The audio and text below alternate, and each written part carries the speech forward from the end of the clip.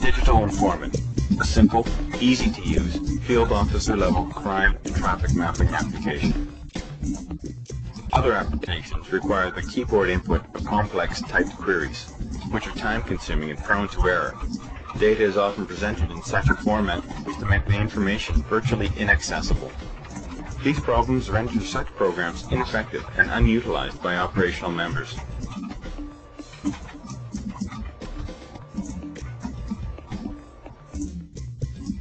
Digital Informant uses a simple point-and-click selection tool, and members are guided step-by-step through the query process. The general CAD query shown here can be used for briefing, for identifying trends, for resource deployment, as well as for more complex investigations.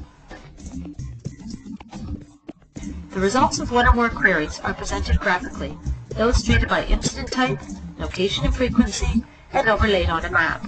A picture can say a thousand words, or turn data into information.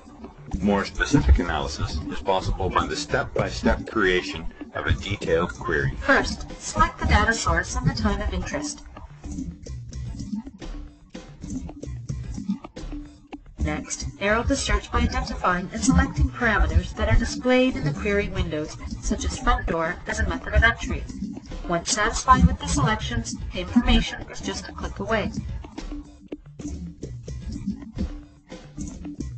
A single query can be mapped, but more importantly, multiple queries can be overlaid on a single map. In this example, location and movements of known offenders is overlaid on a query of property crimes. With the selection of a data source, the display of pertinent information in the query dialog windows is automatic. Digital Informant can be fully configured to suit the unique requirements of individual detachments and display the data specific to their needs. For example, the property crimes and location and movement queries are overlaid on a single map. Members can focus in on an area of interest and obtain detailed information on each incident. Groups of incidents can be targeted and viewed in a more traditional spreadsheet format with the Browse menu. Whole queries or groups of incidents can be browsed, allowing for detailed analysis, and of course, both maps and spreadsheets can be printed. Digital Informant, a simple, useful, cost-effective law enforcement tool.